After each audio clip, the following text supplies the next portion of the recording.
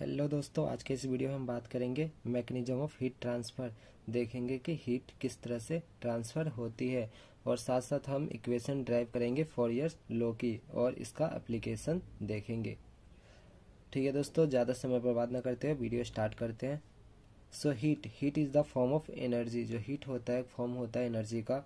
Heat flow from a region of high temperature to a region of low temperature ये जो heat flow करता है high temperature से लो temperature की तरफ़।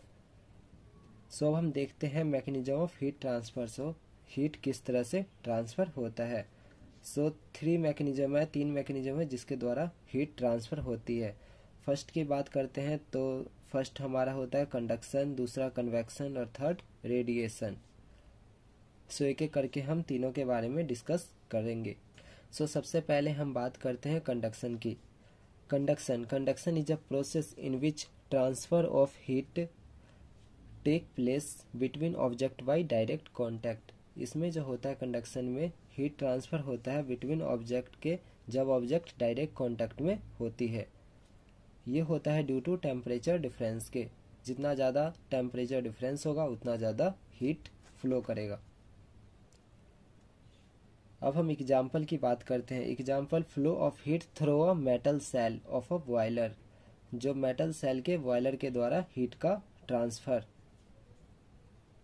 the flow of heat depend on the transfer of vibrational energy from one molecule to another and in case of metal the movement of free electron flow होता है heat का, वो depend करता है transfer of vibrational energy पे from one molecule से another and in case of metal के case में the movement of free electron के द्वारा जो हीट का ट्रांसफ़र होता है। सेकेंड हमारा आता है convection convection refer to the form of heat transfer in which energy transition occur within the fluid इसमें जो एनर्जी का ट्रांजिशन होता है, ये फ्लूड के अंदर ही होता है। ये होता है due to density difference example की बात करते हैं heating of water by a hot surface जो वाटर को हीट करना हॉट सरफेस के द्वारा।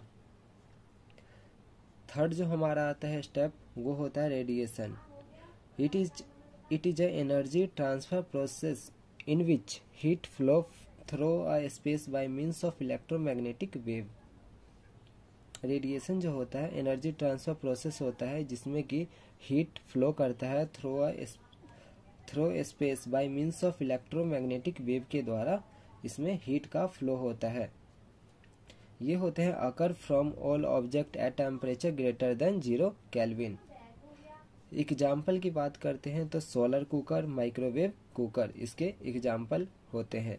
Fourier law conduction of heat through a metal ball so Fourier law state that the rate of heat flow through a uniform material is proportional to the area and temperature drop जो Fourier law कहता है कि जो rate of heat flow through uniform material वो directly proportional होता है area के and temperature difference के। जितना ज़्यादा एरिया होगा, उतना ज़्यादा रेट ऑफ़ हीट फ्लो होगा। जितना ज़्यादा टेम्परेचर डिफरेंस होगा, उतना ज़्यादा हीट फ्लो होगा।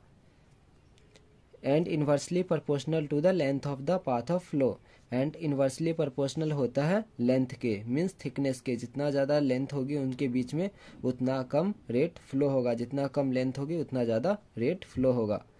सो so, इन दोनों को जब हम कंबाइन करते हैं तो rate of heat flow equal to area directly proportional to area and temperature difference divided by thickness length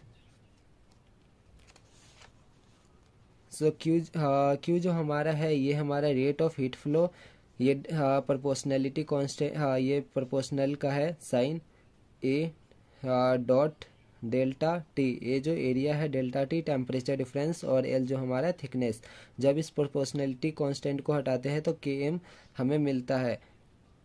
ये के एम जो हमारा प्रोपोर्शनलिटी कांस्टेंट और ये एरिया और ये डेल्टा टी टेम्परेचर और ये हमारा लेंथ है। के एम को हम इसे थर्मल कंडक्टिविटी भी कहते हैं।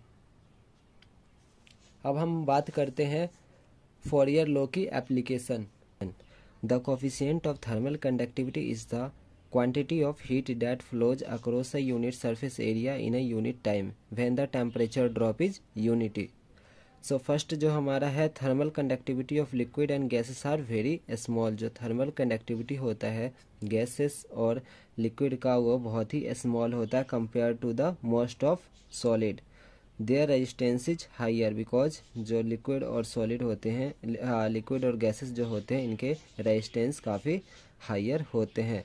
Metals have high conductivity non metallic solid normally have low conductance than metal exception carbon carbon जो कि एक एक्सेप्शन है।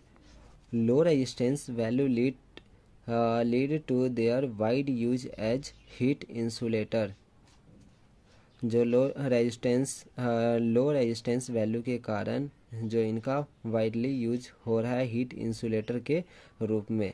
कैटल की बात करते हैं तो कैटल में जो इनर सरफेस होती है वो कॉपर की बनी होती है क्योंकि ये गुड कंडक्टिविटी होती है इसकी। और जबकि जो आउटर सरफेस होती है, इसकी जो मिनिमम कंडक्टिविटी होती है, जिसके कारण हीट जो लॉस है, इसको प्रिवेंट किया जा सके। इसीलिए जो आउटर सरफेस होता है, इसकी कंडक्टिविटी लो होती है।